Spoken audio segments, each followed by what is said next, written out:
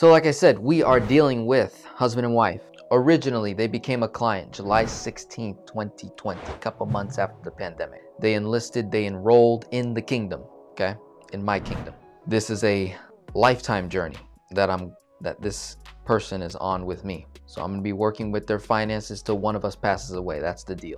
That was the terms and agreements when they enrolled in my program. Okay.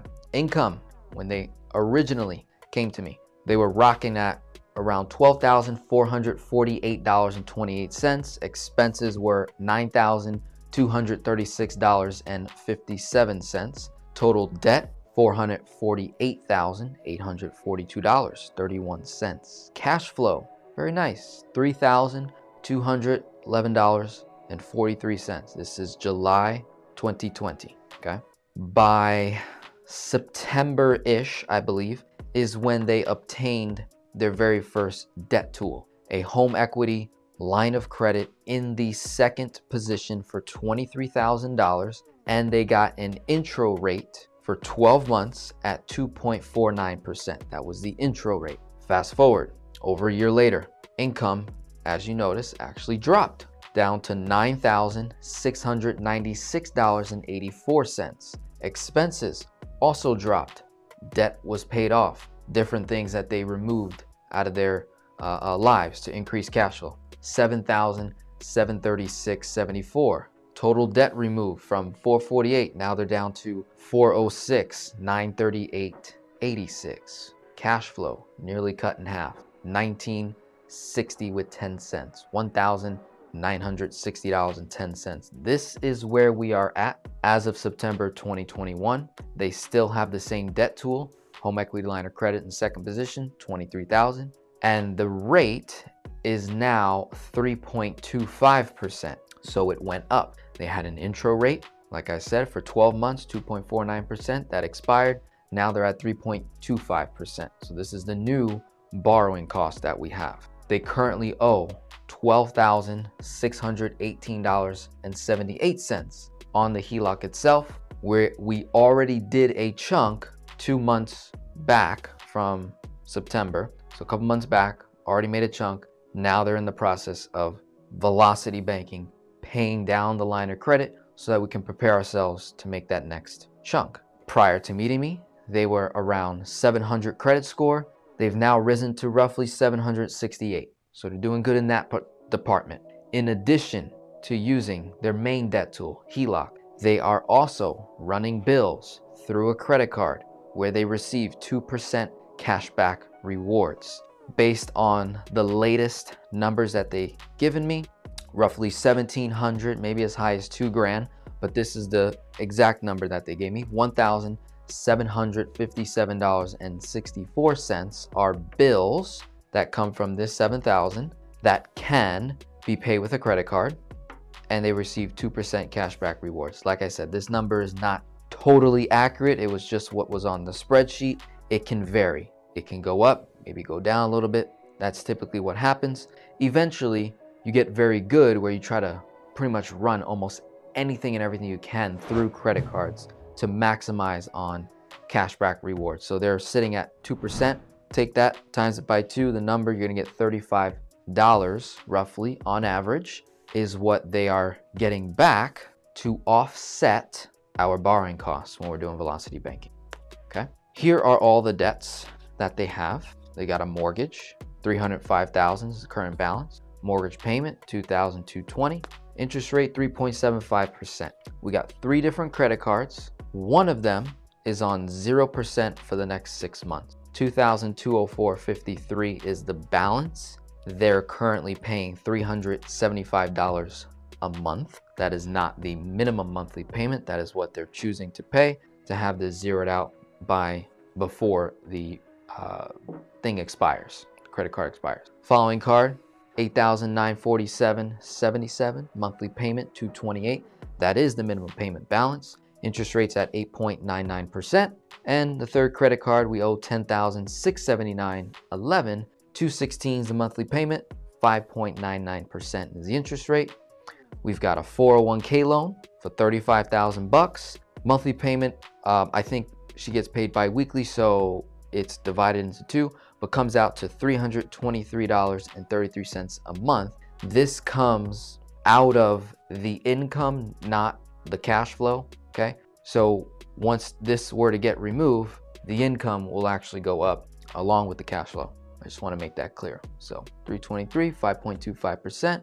And then finally a loan for $31,717.63. It's a personal loan. Monthly payment, $1,071.22. Interest rate, 15.43%. Now that we have gone through all the most important numbers and figures, I gave you the background story of the person, the client, and what their goals are. Here, we're going to go step by step in terms of us actually doing the concept. All the intricate parts that are in play. I can illustrate illustrate it for you. Feel free to ask questions, whether it pertains to the topic or not. You're gonna wanna get your questions in early so that when I'm done, I go back, I scroll back up to the top, and I will start reading your questions all the way through, all right? So here's what I'm gonna do to create room for error in my favor when it comes to the numbers. Like I said, we're in the month of September. I spoke to this client a few days ago. I am going to act as if we're in the month of October with the current balance owed of 12,618.78 and I'm going to act like I'm receiving my income for that month, not including whatever cash flow remains for the month of September. So no matter what, these numbers are going to be inflated. So they're going to be inaccurate to a degree because I'm creating room for error to say, look, worst case scenario by X and X date will be at this. This is when we should make our next chunk. Then what happens is the client goes and do that. They do the concept and they actually beat Denzel's numbers, builds up their confidence. They're moving even faster and they're getting greater results, builds momentum. Okay. So we're to pretend like we're in October where we're to get a new income of $9,696.84. And to explain, hey Denzel, what the heck happened? They went from 12 down to 96. What happened was husband um, either left his career. I don't think he got fired. Maybe he was let go of the pandemic. I'm not sure, but husband was out of work for quite a period of time. And he's just now getting back into the rhythm of working. So we can expect, she expects that his income is actually going to rise while doing velocity banking, which is also going to create room for error in her favor where we're going to go faster. Again, I'm using these numbers where they're currently at and projecting maybe the next year looking forward. But I can assure you that between husband and wife, these people, they've got good careers. Um, wife is a software developer, husband is a business analyst. So they've got solid careers. He made a transition. They're, uh, if I'm not mistaken, they they are investing in real estate or will be. That is one of their goals. So they're looking pretty good. also, on the other hand, in terms of like background numbers, you know, yes, they do have savings. They've got some investments. We're strictly looking at four major numbers and not pulling from anywhere else to accelerate the concept. We've already maximized in terms of their uh, the way that they live, the way they operate.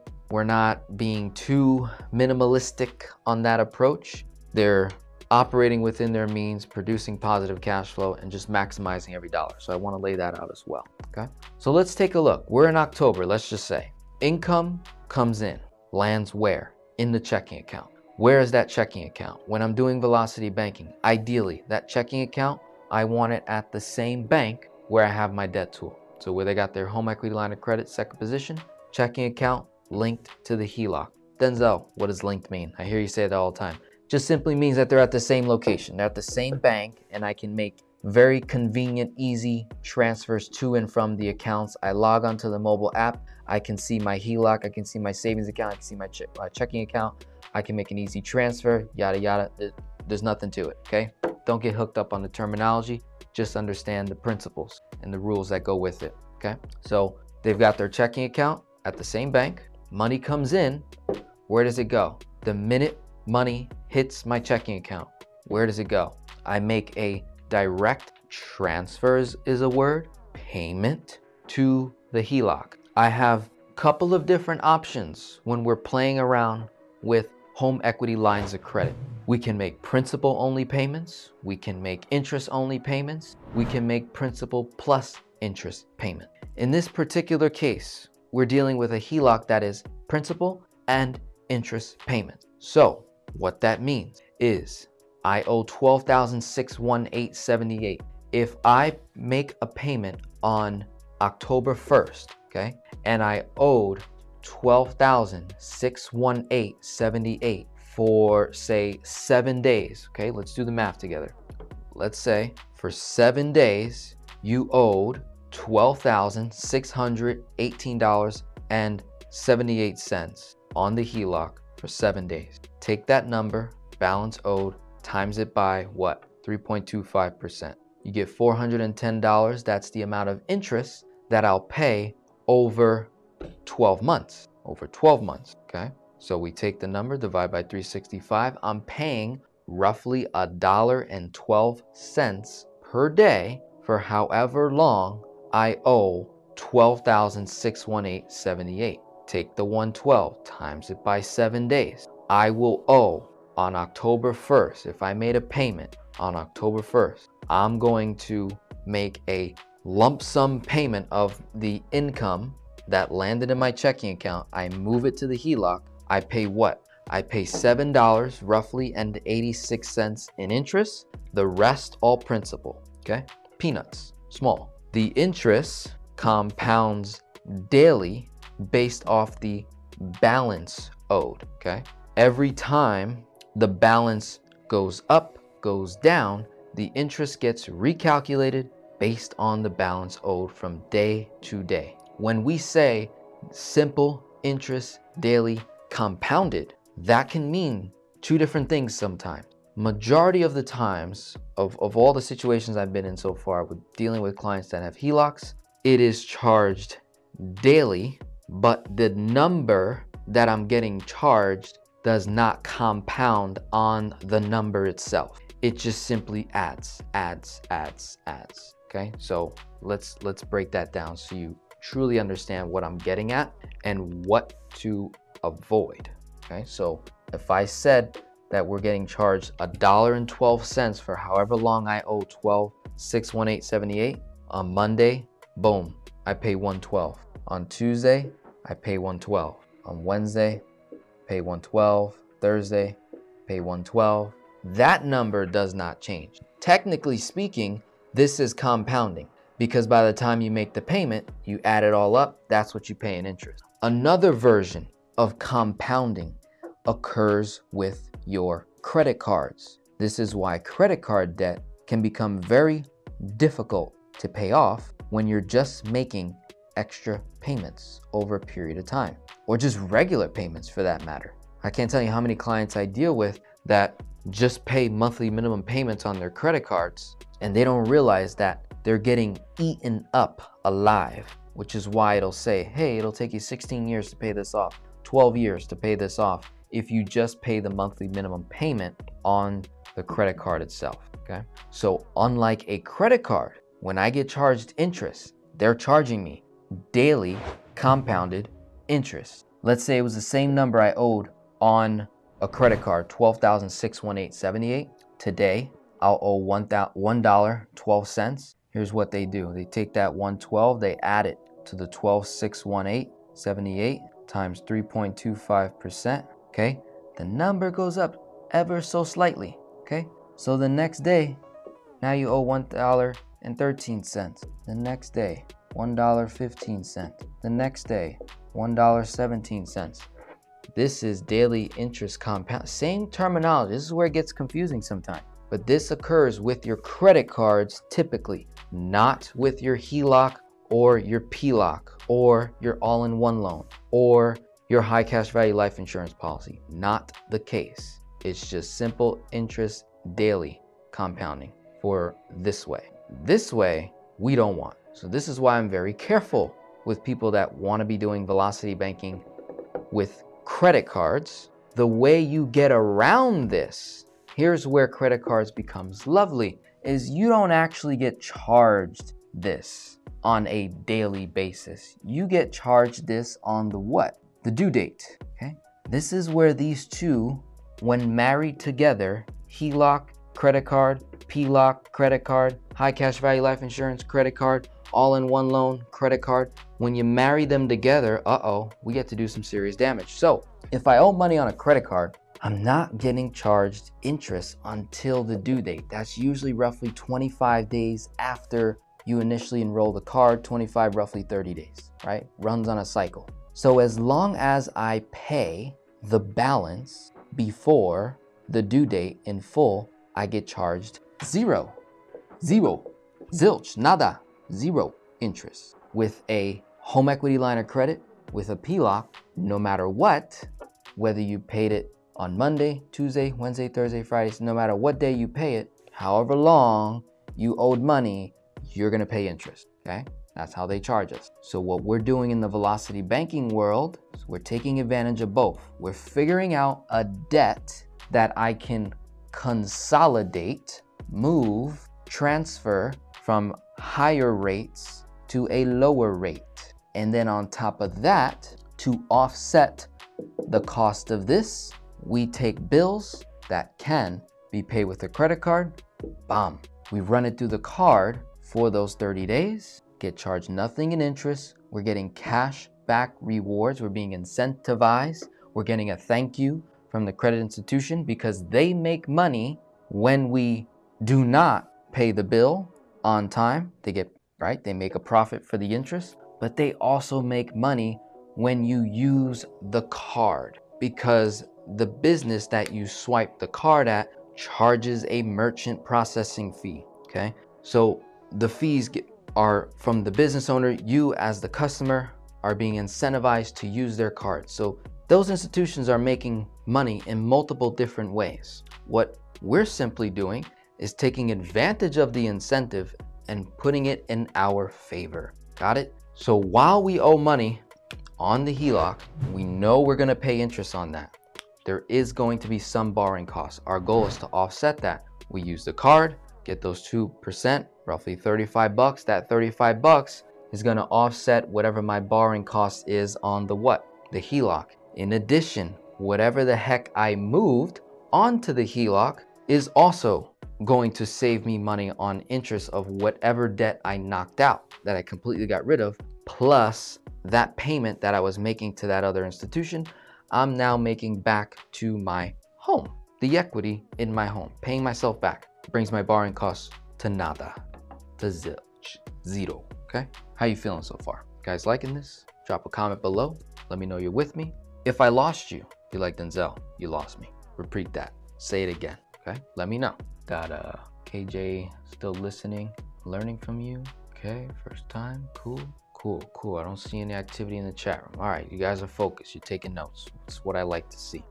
So now, let's run some numbers. If I owe 12,618, you already determined that per day was a dollar and 12 cents. Let's do 12,618.78. And let's minus income,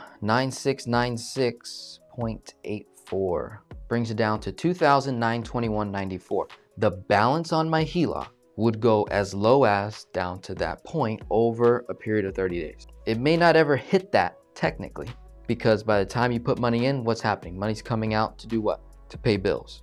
So that may not happen. All we're doing is trying to get a range, determine what that average cost is likely to be, likely to be. So 2,92194 times that by 3.25%. Boom, divide by 365. Bomb. 26 cents a day for however long I owe on that amount. Okay, great. Okay. So we did, we know what our original balance was. We know what the lowest balance can be in the month. And then we add expenses, 7,736.74. The balance should round out somewhere around $10,658.68. Times that by 3.25%, divide by 365, 0.94, okay? We've got three distinct numbers. Highest balance, lowest balance, ending balance. These are the three numbers that you'll do on your own velocity banking situation from month to month to determine what my borrowing cost will be before I make the chunk so we can measure does this make sense or is it better for me to do debt snowball? Remember, we're always using debt snowball, maybe even debt avalanche as our measuring stick to determine whether or not velocity banking works in our favor. Highest balance, lowest balance, ending balance. Add the three, divide by three. Add the three, divide by three. My average cost of borrowing per day, roughly 77 cents. Times that by 30 days, $23.29. Not bad at all. So I made a mistake. $23.29 is my borrowing cost when using Velocity Banking on a HELOC in combination with a credit card. $23.29. Now, what also happened in that month of October, right? We made $35.15 in cashback rewards. So, what is my borrowing cost, ladies and gentlemen? $35.15 minus 23.29, $11.86 positivo. Positivo. Oye, mira, pay attention. What's my borrowing cost? Zero, nada, zilch, nothing, numero zero. Done. This is the best case scenario when you're doing velocity banking is your borrowing cost is nothing, zero. You actually come out ahead. Beautiful position to be in. So therefore, if my borrowing cost is zero and the goal is to pay off debt and your measurement stick is debt snowball, we know that any other method you apply to this, minimalism, get a side gig, side hustle, sell your stuff, be frugal, cut back. These are all external things to enhance your debt payoff timeline. Would you agree with that? Those are all external. Regardless of the main concept, those are external that adjust these numbers, not the debt numbers. They adjust the four major numbers. We can all agree with that. So put all of the external ways to, to pay down debt faster and just focus on the numbers at play and the debts. If I were to do debt snowball, making extra payments of 1,960.10 towards my smallest debt, which would be what? The 2,204.53. That's according to Debt Snowball. Why on earth would I do that if I'm getting charged 0% for the next six months? Okay, that's a dilemma number one for me. So right away, if you were to do Debt Snowball with the same exact numbers as me, following the baby step rules, following Debt Snowball rules, smallest to highest debt, you have to pay this first, the 2204.53, right? You have to pay that if you're doing Debt Snowball. I'm paying a debt that is charging me interest. Therefore, I go faster than you. This is where debt avalanche comes into play. Okay, debt avalanche says highest interest debt first. What is that on the board right here? 15.43%, payments a thousand bucks. We owe 31,000. So I take the 1960-10 and for the next X amount of months, I'm gonna pay an extra 1900 towards this $31,000 debt. That's what debt avalanche says to do. What's the problem with that? Well, it's not really a problem. It's gonna get results. Whether you do snowball, avalanche, velocity banking. Question is, which one is more efficient? Efficient doesn't always necessarily mean that I'm gonna pay it off faster. Doesn't always necessarily mean that. But in my eyes, efficiency means fastest, in my eyes. But I can understand how this can be very confusing to an individual. So therefore, what happens to velocity banking? If this stuff flies over your head, if you just can't get it, no matter how many times I watch Denzel's videos, it's just too confusing. This is no longer efficient. So therefore you would want to do a snowball. That means you don't, you close your eyes to interest rates, you close your eyes to cash flow, you close your eyes to income opportunity, you close your eyes to everything, and all you focus on is the smallest debt, and you work your way up and you create momentum. That might be efficient for some people, right? But that doesn't necessarily mean that they're gonna go what? Faster than if we were just judging the numbers. But when you add the human factor of an individual that's undisciplined, does not have a good track record of saving, has been in debt all their lives. Mom and dad was in debt all their lives. Grandma and grandpa was in debt all their lives. They got a whole generate multiple generations of debt. That's all they know is debt and borrowing. All they know is being a debt debtor, not a lender, right? All they know is being in debt, the borrower, but they know nothing of being lender. They know nothing of that language. Well, then this would be inefficient. They would not go as fast, no matter how good the numbers show. They would not go that fast. They would fail. Why? They don't have the culture yet maybe the culture of the kingdom, maybe the culture of good money saving habits, maybe the culture of increasing income, maybe the culture of crisis versus opportunity. Did you know that the word crisis to the Chinese means opportunity versus Americans? When you look at the news, it says crisis, crisis, crisis, crisis, crisis. To us, that means danger, danger, danger, danger. Go away, go away. It's all bad, it's all bad. Danger, danger. Go away, it's all bad. That's how Americans view crisis. The Chinese people, crisis, opportunity, opportunity, opportunity, opportunity. Uh-oh, it's a different culture. So you have to understand who you're dealing with for my financial coaches watching, consultants, people that are looking to implement velocity banking in your practice. Sometimes you got to put the numbers aside and really identify who am I looking at right now? What culture does my client have? What is their track record? when it comes to money? Have they saved consistently? Have they invested consistently? Have they paid their tithes, give consistently? Do they just give consistently to an organization, to a business? Like, what have they done consistently with their finances that have created some sort of success? And we measure that. You say, okay, well, based on that, I like what you're doing there, Sue. I like what you're doing there, Tom, Joe, Mary. I like it. I like it. Here, we're going to implement this concept right here that can potentially produce some results. Okay. So I need to give you guys that, that other feedback there, that other important information. Take away the human factor, take away the person here on the board, take away the emotion, take away your feelings, and just look at the numbers. You could say, well, if my borrowing cost is zero and I actually make money on the process of paying off debt, then no matter what, Velocity banking goes faster for this period of time, in this very moment. Velocity banking goes faster than Debt Snowball, Debt Avalanche. If we get the okay green light on that, we say, yep, let's keep it going. Let's continue to do velocity banking. So, with that being said, your most expensive month of borrowing cost when you're doing velocity banking is the month that you make your first chunk, which is the month that you chunking, meaning take money out of the line of credit. So this couple here, they chunked two months prior to September, right? Two, three months prior. So that means their most expensive month has already passed. They're roughly three, maybe four months in, if that. Now they're at 23, 29. They're gonna pay that interest, right? They're paying that, but they made 35. So they net 11, 86. This, this whole 35 total can go into the expenses to, to bring the credit card that they ran up a balance back to zero that much faster.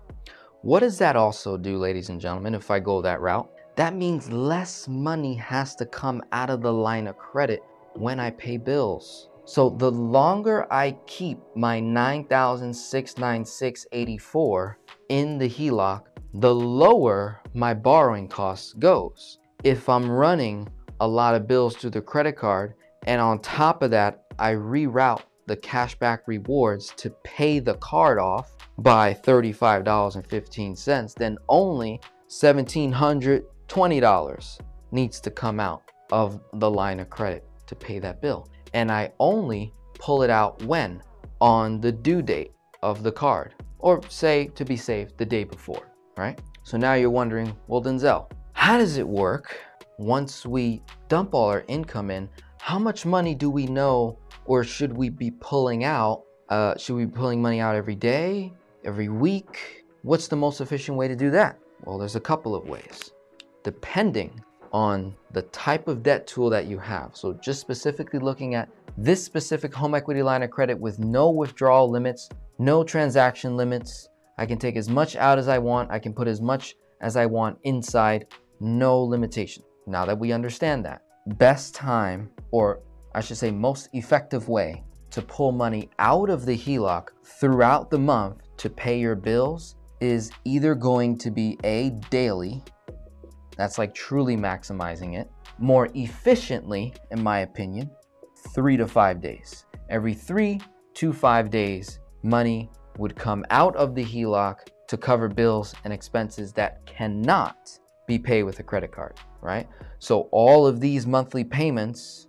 cannot be paid with a credit card. The 2000, 375, 228, 216, 323, 1000 bucks cannot be paid with a credit card, okay? So bills that cannot be paid with a credit card every 3 to 5 days, I pull out a lump sum of cash back to what? The checking account that was linked to the HELOC. Your checking account continues to pay bills just like you were doing before. Rest of your income sits there in the HELOC, covers the payment of the HELOC itself. So therefore, there's no payment on the HELOC. This 12,618.78, there's no payment. My payment was my paycheck. When I make the payment to, to the HELOC via my paycheck, damn near all of that is what? Principal. Very little interest. Again, offsetting the interest. Hope I'm being very laser focused here this evening because I think a lot of people are getting confused. And as you should be, because this isn't a culture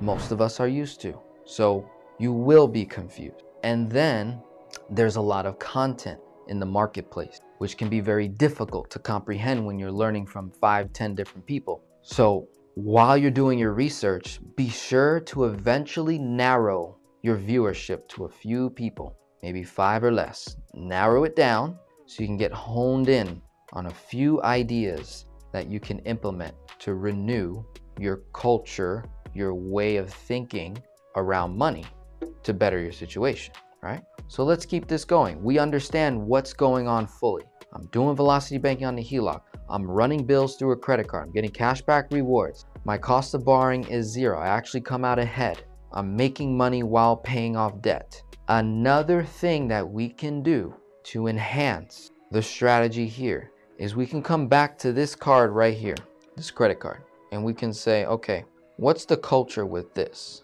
I see a lot of people doing this when I work with clients. They they take the balance that's owed when they leverage a credit card on 0%. They take the balance and they divide it by the amount of months that they have zero interest, which is a noble strategy. It prevents what from occurring?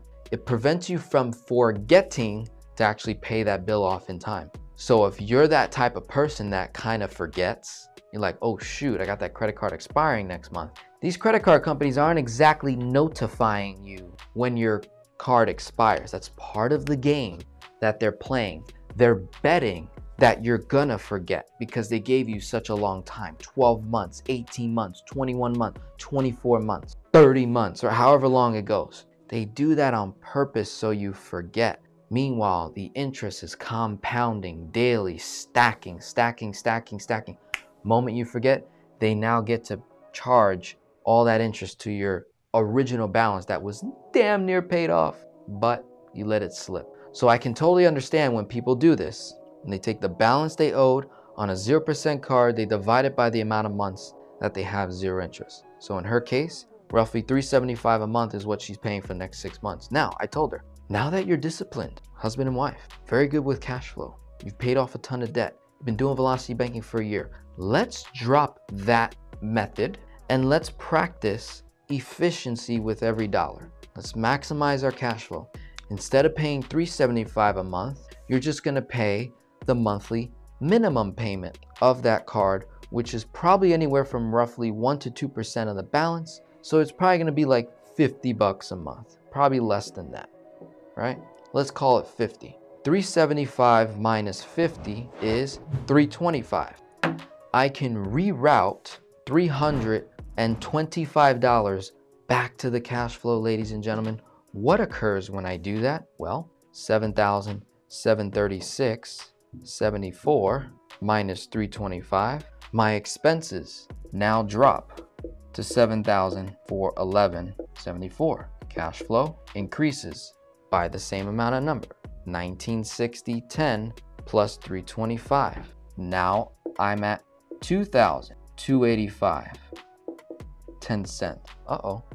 We're not, we didn't even pay off debt yet. All we did was reroute cash flow. Why? It doesn't cost me anything to keep this debt. In the velocity banking world, we're constantly looking for cash flow opportunity increases plus interest savings. Usually cash flow is critical, interest savings second, balance third. So usually that's the order. Cash flow first, interest savings second, balance of the debt third. In that order is typically the case, majority of the time. $325 of principal on a debt that is charging me interest, what happens, ladies and gentlemen? I go faster. I go faster. The dollars work harder for me. So now I only have 7,411.74 coming out. 2,285 stays in the HELOC. Again, I'm leaving room for error. So I went off of these numbers till about January of 2021. Income goes in, expenses come out, balances at what? 8698.58. December, income goes in, expenses come out. Bomb, 6,738.48. January, balances at roughly 4,778.38. If you were to take 325 times it by four months, right? 325 times four is 1,300. So you could take 4,700 minus 1300 the actual balance should be probably somewhere around $3400 and then when you factor in the likelihood of their income returning back to this number over a period of time let's just say it goes up a thousand bucks let's just say it goes up 500 bucks 500 times 4 is 2 grand. Balance is nearly paid off. So i'm betting that anywhere between january and february of 2022 is when I make my next chunk. All right? Next chunk. The balance should be paid off, zeroed out. If it's not zeroed out, it's very close to zero. Here is a situation where we don't necessarily have to wait for the HELOC to hit zero before making our next chunk payment. Why, Denzel? Because since October, September of 2021, this tool, this debt wasn't charging me any interest, although I owe money on it, although I'm paying interest, I'm offsetting it, ladies and gentlemen. So therefore, I'm incentivized to leverage this debt, zero cost, borrowing from Peter, to pay the Pauls, to pay the Pauls. Paul's charged me 8.99, 5.99, 5.25, 15.43. Do you see that? Good stuff. Based off the numbers right here, we're not even gonna factor in that we're making monthly payments on these debts, okay? So that means come January, February of 2022, all of these debts are going to be lower. You agree, right? The mortgage, everything's going to be lower. We're not even going to factor that in. We're just going to look at what would be the next most ideal debt to tackle. I want you to think about that for a second and comment. My HELOC's at zero, 3.25%. We know what our rule is, right? We take the balance of the 23,000 times that by 66%.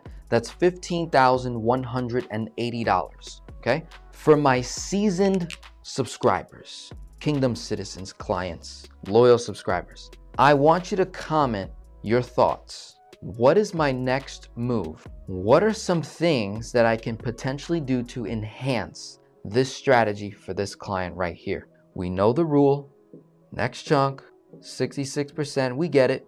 15,180. But I want you to pay attention to something. Look at their cash flow. Look at their income. Remember the other rule that we do? We take cash flow times 12, right? 2,285, 10 times 12, 27,421.20. Oh, we got a seasoned client right there. She already gets it. Increase the HELOC. The HELOC. Just, just, just, just, just. That is exactly one thing that we want to do. We want to uppity up our credit limit. Why, ladies and gentlemen? Our numbers have improved, which means our debt tool needs to upgrade with the numbers so that we can continue to leverage accordingly. She's at a point now where the HELOC is very small in comparison to her income and cash flow, which can potentially lead us to violating the rule of 66%, right? That's a rule too. What What rule allows me to violate the main rule? When your cash flow times 12 is more than 66% leverage, that's when we can chunk more than 66%. Does that make sense? So we're floating right here. New cash flow come January, February 2022. Here's where we're at. A new cash flow. Haven't paid off any debt yet. We're right here. Velocity banking rule by Denzel says chunk 15 grand. Should I just go that low? You could. Can I be more efficient? Absolutely. Right. So let's just look. Let's see. Okay. Um, we got 8,947, 77. All right. 8.99. We got that $10,000 credit card. 10679.11. 19,626.86. Okay. So we'll write that right here. 19,626.88. Now, we know that those balances are going to be a little bit less, right? Because 2, 228 times month of October, didn't even count September.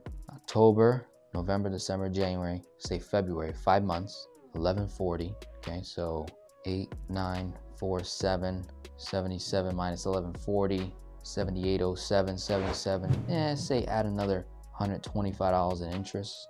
All right, probably more than that. Balance would probably be somewhere around 8,000 come February. And you would do the same thing with each of the debts, right? So I'm only gonna do it once more with that other credit card. Comment below if you agree, yeah, we should tackle the credit cards next, those two.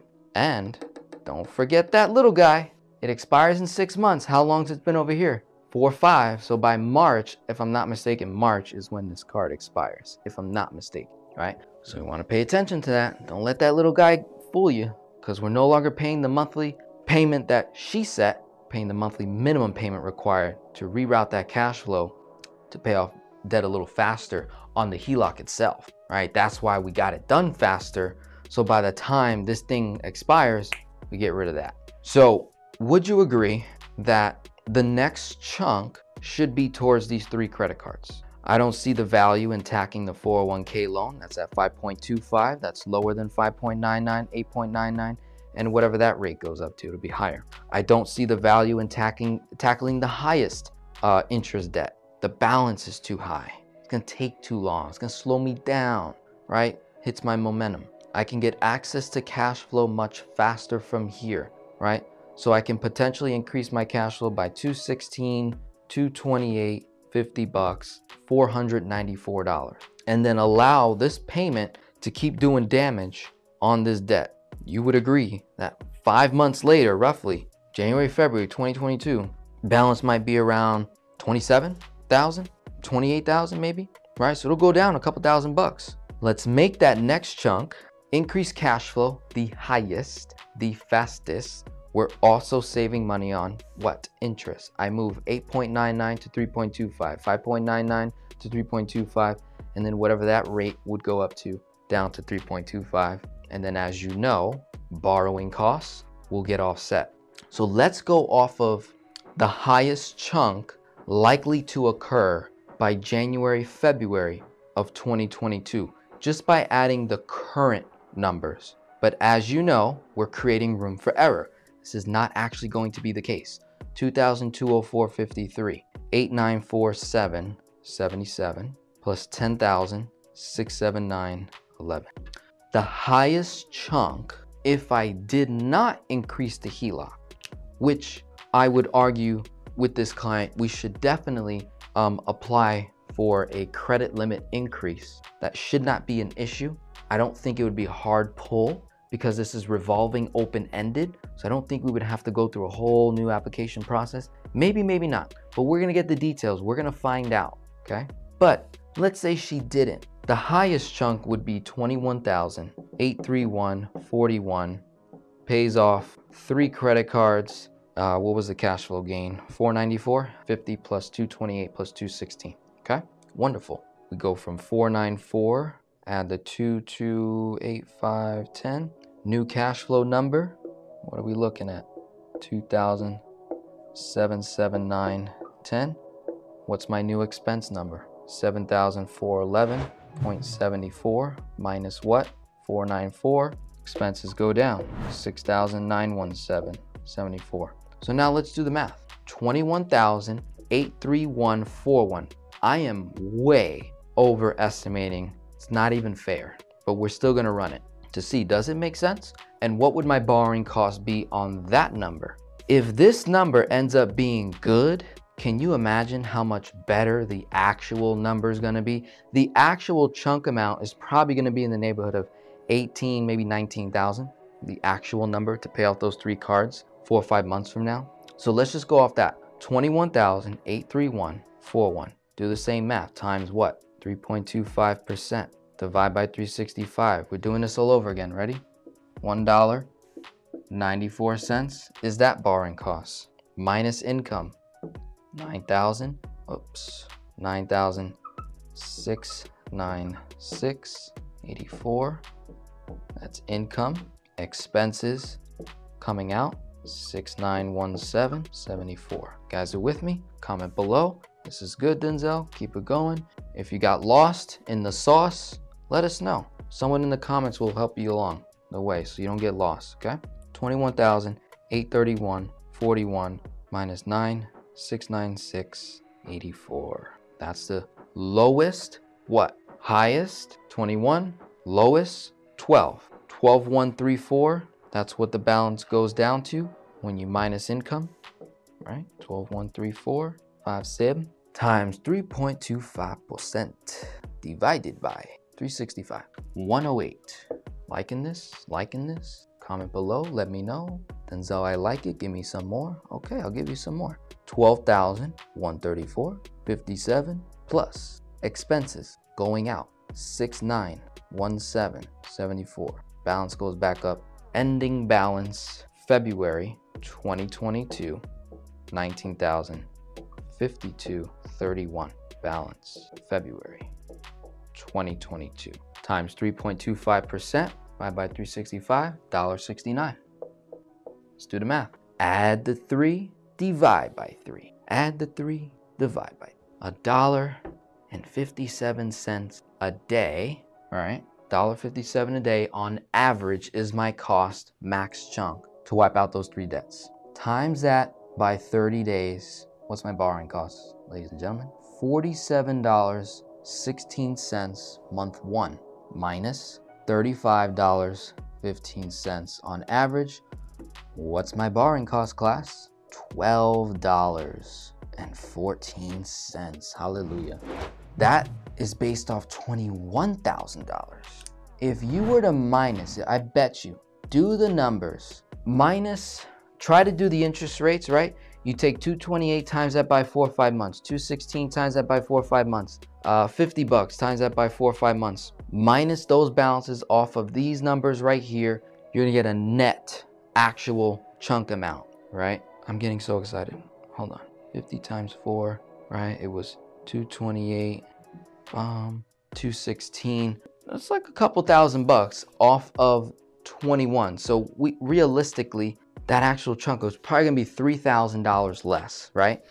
If 21,000 highest balance ends up averaging me uh, a net of $12 and a penny of interest, right? $12 and a penny, then I'm pretty sure that we could actually bring the borrowing costs to probably $40, 35, where this actually becomes like zero. Even if it did have borrowing costs, would you agree I still go faster than Debt Snowball making extra payments, Debt Avalanche? Yes or no? Comment that. Let me know. so keep moving along. All right, let's keep going. All right, is this good? This is this good stuff? This is what it takes when you really look at your numbers. You're like, oh my God. All right, all right, I'm getting excited. This is a possibility. So she now chunked in somewhere June of 2021. We're in September 2021. We're bringing the chunk back down to zero by January, February of 2022 is what we projected. We're likely to make a chunk anywhere from as high as 21K, as low as probably 18, right? Which is a little over 66%. I'm okay with that, all right? Balance nets out around 19,000 at its highest. My borrowing cost was $12. Major victory. We reroute 8.99, 5.99, whatever that interest rate would be and we get a cash flow gain of 494. I solve for all three, okay? Now, what else can we do to enhance this strategy for my seasoned clients? Anything else you see that I can add to the equation? Let me look back up here. All right, so after she said increase the HELOC, Emily says I do the 8947 next chunk, maybe stretch the rule, do the 10K card too. Yes, okay, yep, we went over that, cool. Possibly lower rate tool, maybe. She said increase mine to 50K, went from 6% to 3.75. In this case, I don't think her rate would um, go down because she already got the approval of that intro rate and now they increase it to 3.25. Not sure if they would give her a, a brand new intro rate again. That would be uh, pretty cool if that were the case. So Alex Chan says, what you know, is with us, pay off the three cards. Yep. Does the increase depend on the amount of equity you have? Absolutely. Yeah. But understand, look how much uh, utilization debt we wipe out. The mortgage is at 305 currently. Five months from now, it's going to be a little bit less. Value of the home might have gone up, but also there's there's more equity than what's shown here. She's got a good amount of equity in her property that we can absolutely tap into. Okay. Most are only lending 75% LTV credit unions seem to be high. So, yeah, okay. Is there a way to do velocity banking while I save? So, what do you think we're doing here? Son, sanadora, sanadora. Ojo, pay attention. What do you think we're doing here? What, what do you think happens when we consolidate debt? What, what is the term for consolidating debt to actually make you what? You save money. So you have to really analyze your numbers. Remember how I said earlier that this client has savings, has investments in other look? We're not touching none of that. We're just touching the four major numbers here. That's all we're touching at the moment. While we're doing velocity banking, you are saving what? Money, right? When you shift the debt, you're saving money on all these interest rates. That money is savings. You're running bills through a credit card. You're saving money. We're offsetting. So we're saving. Absolutely. Just not traditionally saving the way you normally would. When a crisis occurs in your finances, where do I go? I now have four paid off credit cards that I can access, possibly have 0% offers on purchases for the next 12 months. I've got a paid off HELOC. I've got space to use. Yes, the debt is lower. So I put myself in a very, very good position without touching their pre-existing savings. Okay. So yes, we can absolutely do velocity banking while saving. Imagine if this person's numbers, right? Like they put 12,000 was their income, nine grand, 3,000. Let's say this is you, son or daughter, right? Let's say this is you.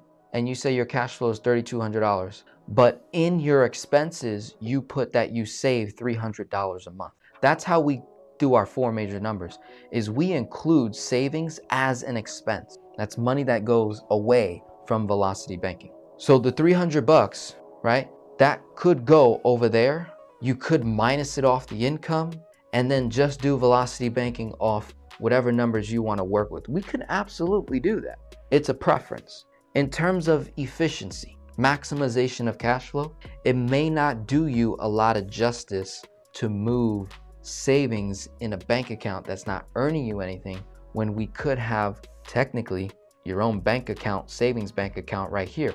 Mind you, this is secure debt, this HELOC, equity in her property. Yeah, she's getting charged this interest rate, but isn't she appreciating in the value of her home as she's making regular monthly mortgage payments? Don't you see the net gain by not saving in a separate account, putting the savings in the home to do what? Zero cost of borrowing. So we mentioned about what debts we're going to tackle the chunk, but I wanted I wanted to challenge you guys to think on what are some other ways that we can enhance what we're doing here, right? So, would you agree at this point in time, February 2022, if I wipe out 3 utilization debt accounts, right? Gone.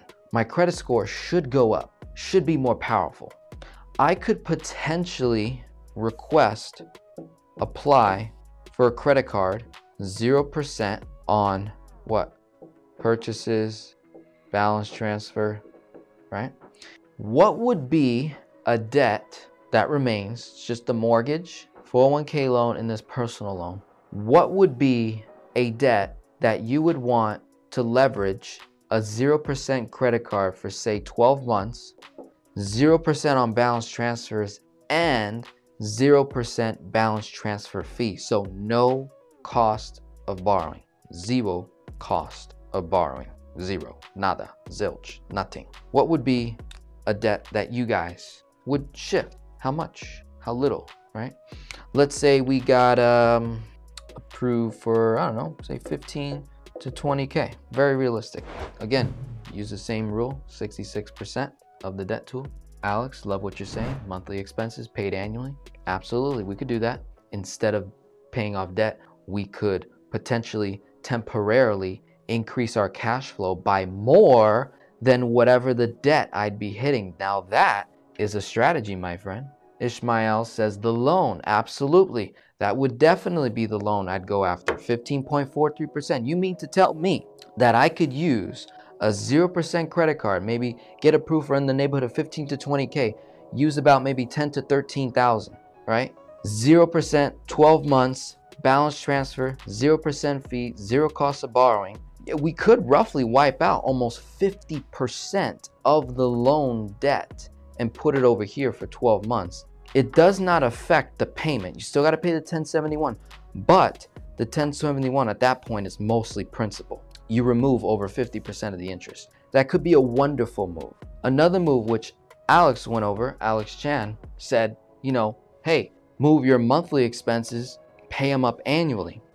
I think that would be more valuable based on the leverage amount that I use if I can get equal to cash flow gain of this debt. If I can do that, ladies and gentlemen, then let's say we went Alex's way and we use roughly 10 to 13K. 13K if I got approved for 20, 10K if I got approved for 15. So 10 to 13K, zero cost. And let's say the cash flow increase was roughly 750 bucks to about a thousand dollars, right? That's very possible when you switch from monthly to annual. You'd be surprised how much money we can recoup. This isn't permanent cash flow gain. This is temporary cash flow gain for say 12 months. That means I don't even touch that debt. I pay the monthly minimum payment on that debt. It's probably gonna be anywhere from 100 to 200 a month. So if you if you got a 750 cash flow gain, in reality the net would be 650 or 550 cash flow gain. Does that make sense? Okay. Then you take that cash flow from paying all your bills up for the year of 2020 2022, which would be perfect timing, ladies and gentlemen, because you're at the top of the year. Perfect timing, right? We're at the top of the year. I increase my cash flow immediately while simultaneously I made that chunk. So now I've got roughly an additional 550, 650 or more of cash flow to the HELOC. What does that do to the HELOC? Makes my borrowing costs zero. I come out ahead.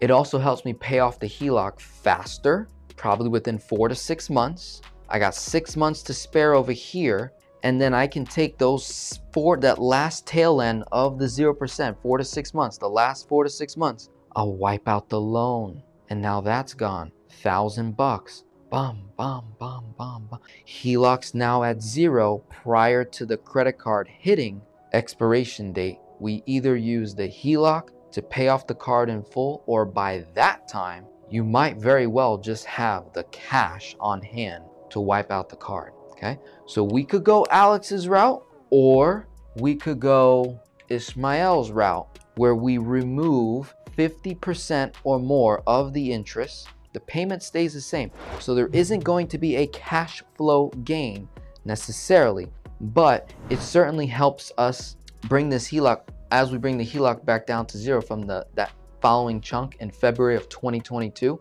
helps us pay off this loan in one shot and gives us just enough time to come back to that 0% card, wipe that out, and now everything is done except for the 401k loan and the mortgage. Okay, so let's keep it going. Let's say that from February 2022, and we'll go six months to be super conservative, but I can almost assure you she'll have it knocked out much faster, right? But let's go six months and we'll start in the month of March. We'll count March not February, not the chunk month, right? We'll go, we'll go further just to create some distance. So one, two, three, four, five. August of 2022, HELOC hits zero, right? HELOC at zero, paid off. If we went Alex's route, we still have a balance on the card and we still owe money on the loan.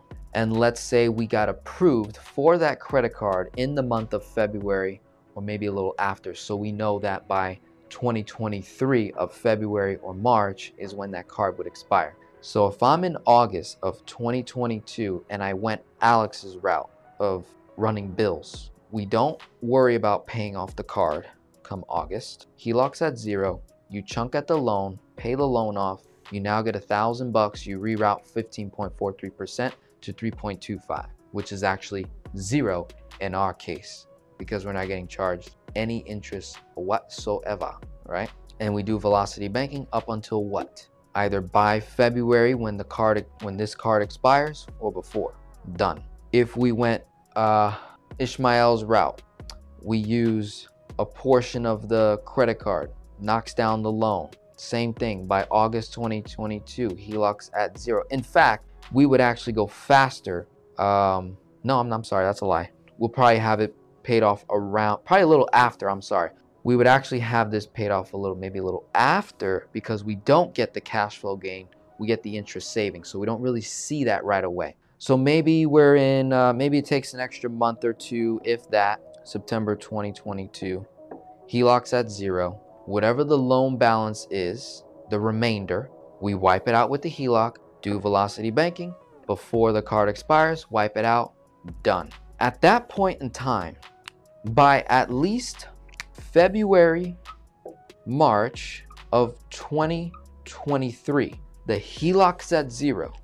The loan is paid off, all cards are paid off. The only thing left is the mortgage and the 401k loan. And at that point in time, being super conservative, February, March of 2023, either A, we continue to pay off debt as long as the rate does not exceed 3.75 or 5.25, it'll continue to make sense to do velocity banking to pay off the remaining mortgage and the 401k loan. If the rate exceeds 3.75%, then it's only going to make sense for a period of time, not that much longer, okay?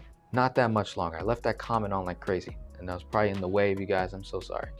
Um, so we could potentially shift our strategy in February, March of 2023, where instead of paying off debt, she could look at her debt and says, well, this is costing me 5.25%, but the interest, I'm paying myself the interest on my money that's growing in the account. So there's a bit of a wash there. My mortgage is at a 3.75%. The value of the home is probably growing 3 to 4%, maybe higher than that. So there's a bit of a wash there. I can then make the argument to say by 2023 or sooner, instead of paying off debt, I can get a higher rate of return on money if I choose to what? Invest. Either invest in something outside of myself in some type of asset class. I could go the IBC route start a high cash value life insurance policy. That could be a route. Or I know with this particular client, they want to build a business. So we could go the 10X route where we could continue to increase our income. The what remains of debt is the mortgage and the 401k loan. And if they come to a conclusion where the debt is not killing them, it doesn't hurt them whatsoever, their cash flow is north of 3000 or higher, at that point, right? After paying off the loan, 3285 plus 494. All right, so we're we're like almost north of 4K cash flow, doing very well. At that point, I could say, well, I, I got $4,000 a month in cash flow. 4,000 times that by 12, $48,000 a year in free cash flow. What can I do? Can I take my cash flow times 12 per year and earn higher than 5.25 and 3.75 added together, more than 8.75, more than 9%. Can I do that? Do I have it in me to either start a business and profit more than 10% in that business and create more income? Do I have the ability to invest in the stock market, in real estate, in crypto, and gold and silver, and all these other different, you know, investment opportunities and earn a higher rate of return than what my debt is charging me? to create arbitrage. I mean, at that point, would you agree that this this couple, this family is, is very disciplined with their money at that point? We're talking 2023. They've got two, three years of velocity banking in the books, managing their finances. They've created a new culture of how they view money. Do you see the the evolution, how that occurs, how things improve the more they pay attention to the to the numbers and think of creative financial ways to produce more wealth, produce more income and leverage where we're not just borrowers, we're also lenders, right? Most of the time here we're borrowing but we're effective borrowers in the 21st century. If I borrow at 0%, what is my loss? Nothing. So I'm actually gonna go faster than the guy that does not borrow because when he or she borrows, they pay interest. When velocity banking students borrow, we don't pay interest. If we do pay interest, it's minuscule compared to what? Our measurement stick, debt snowball, debt avalanche, created efficiency, right? Good stuff. You guys like it? How do you feel? Are you happy? Are you like, oh my God, that was a lot? Let me get your comments. Let me see where, how you guys are feeling so far. Rodney says apply for more debt weapons. We can absolutely do that, right? Um, it depends on their capacity to handle debt. Remember that. So everybody's different. Convenient checks, yep. That was through the balance transfer. Yes, yes, yes. Um, let's see. So we got 63 people in the house now. Wonderful, wonderful. Lesson is complete. I'm done. We looked as far out to 2023 for this particular client, right? And we paid off in that time four credit cards, that $31,000 loan, and then we left the 401k and the mortgage, right? Again, way overestimated. In reality, we could be very well in 2022, right? Of all debts paid, cleared out. We could very well be there. So if we add up the numbers of the amount of debt that gets wiped out during this timeline from September 2021 to roughly December 2022, we got that 12,618 that gets wiped out. That was the original previous chunk on the HELOC. We wipe out the 204 card, the 894 7.77, the 10,679 11, and the 31,717.63. $66,000 over a roughly 13 to maybe 15 month period right? So let's write that down.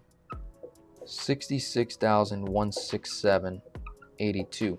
Not to mention the 323.33 over a 15 month period. Now I understand a portion of this is interest, but it's still debt that she's tackling, is she not?